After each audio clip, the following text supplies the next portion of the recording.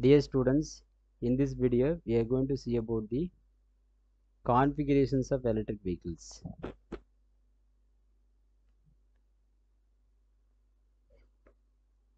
Now we are going to see about the configuration. The drivetrain consists of three major subsystems. That is electric motor propulsion, energy source and the auxiliary system. The electric propulsion system comprises the electric vehicle controller, Powertronic control, converter or controller, electric motor, mechanical transmission and driving wheels.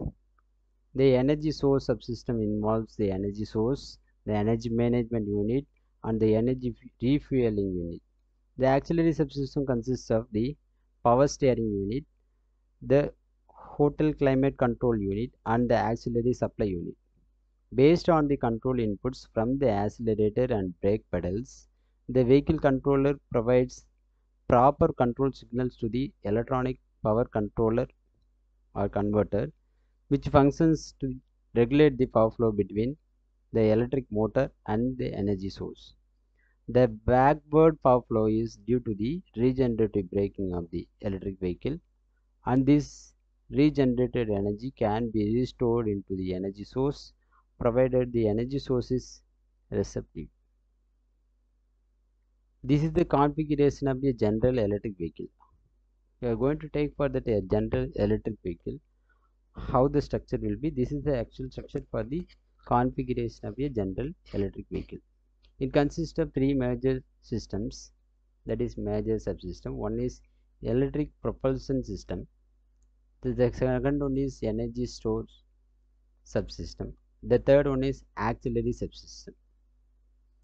The connectivity or interfacing between the different parts of the system or various components. The red line indicates the electrical link and blue line indicates the control link and black line indicates the mechanical link. Now we are going to see about the first electric propulsion subsystem. It consists of vehicle controller, electronic converter, electric motor and transmission system. The vehicle controller will take the response or the input from the driver.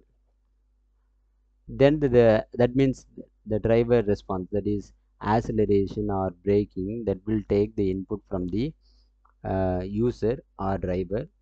That is connected with the vehicle controller. The vehicle controller get the input from the user or driver. That is connected to the power electronic converter.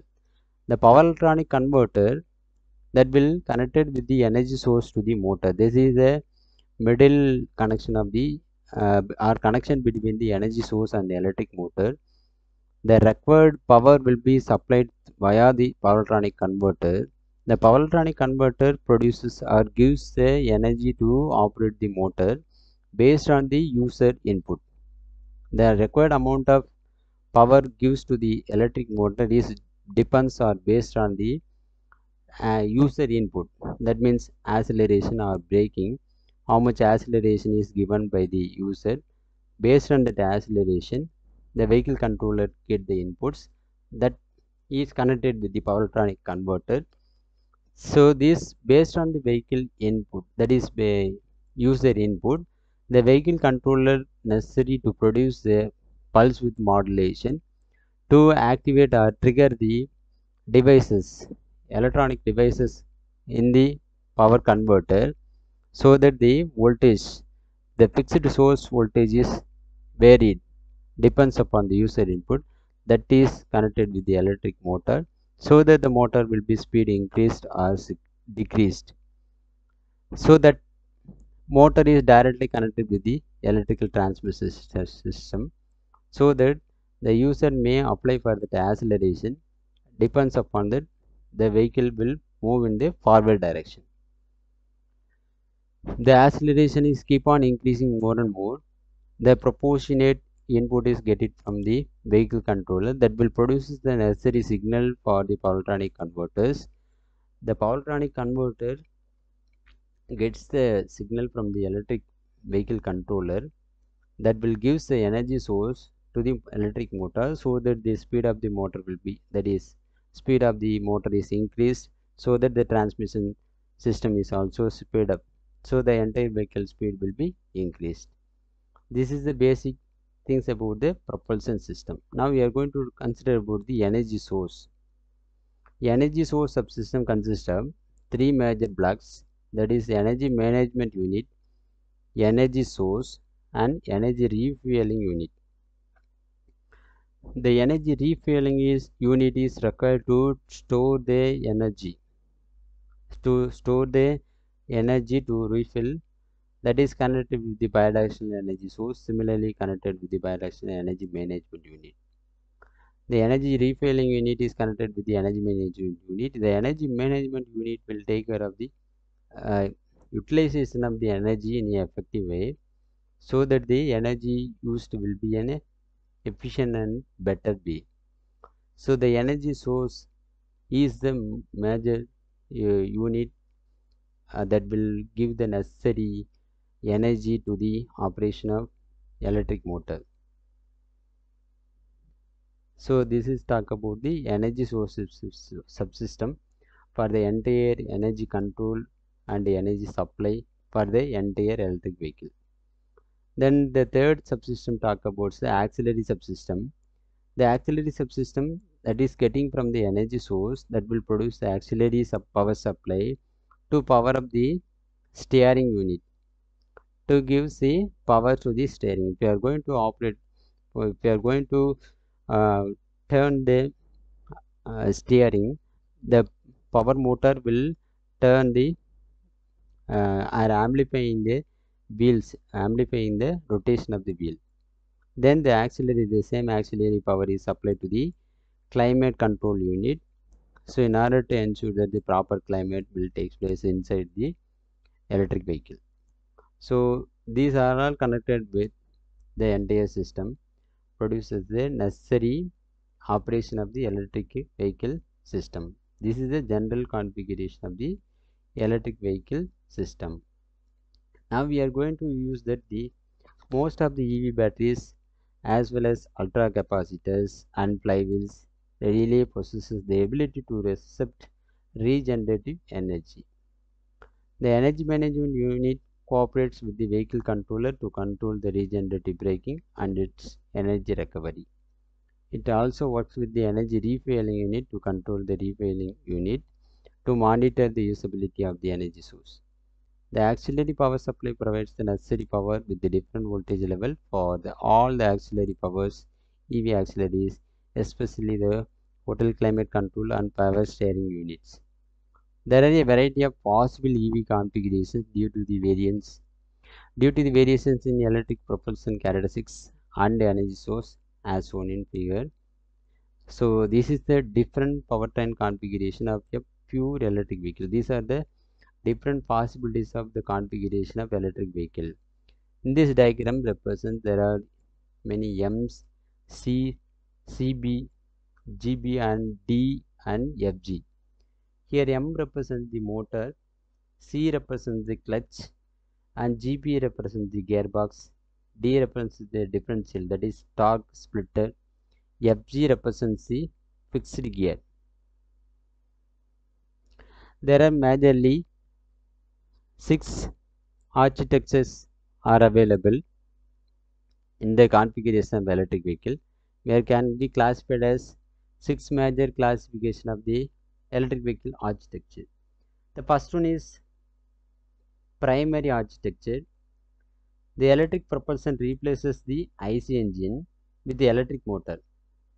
Here replace the IC engine is replaced with the electric motor is connected with the clutch, gearbox and a differential.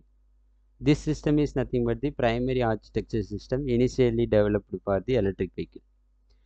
After that, the clutch is replaced that is removed for multi-speed gearing. This is the removed architecture. That is the reduced architecture. B represents the reduced architecture. It is especially used for the multi-speed gearing. No need of clutch for multi-speed with an electric motor that has a constant power in a long speed range a fixed gearing the C structure represents the modern architecture. the entire assembly is converted into a single assembly with a axle point at both driving wheels it is a the entire structure of the a or b structure architecture is reconfigured to modern architecture with a single assembly everything uh, uh, connected with the both axle points. That is motor is connected with the fixed gear that is connected with the differential directly connected with the wheels. This talk about the modern architecture. And the diagram d represents the dual motor architecture. Here in the c configuration that is modern architecture only one motor is used to operate for the both the wheels for drive wheels.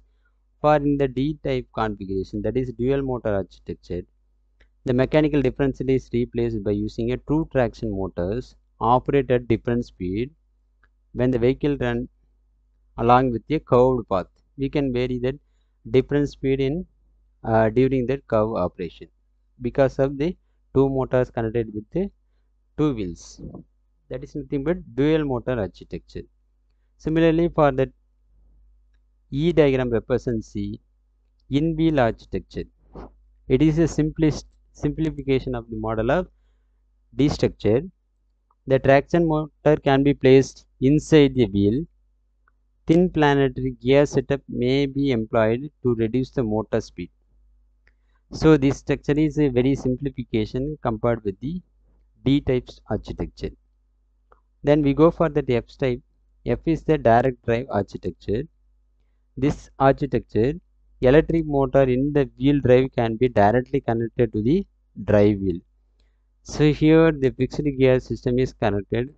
For the motor is for the e structure the motor is connected with the fixed gear that is connected with the driving wheel. Here the motor is directly connected with the driving wheel. It is further simplified. This method is at present architecture is used for that electric vehicle that is drivetrain architecture. So far we have discussed about the basic configuration of the electric vehicle and different configurations applicable for the electric vehicles is we have seen. Dear students i hope all of you understand about the various configuration of electric vehicles vehicles and the basic general configuration में electric vehicle thank you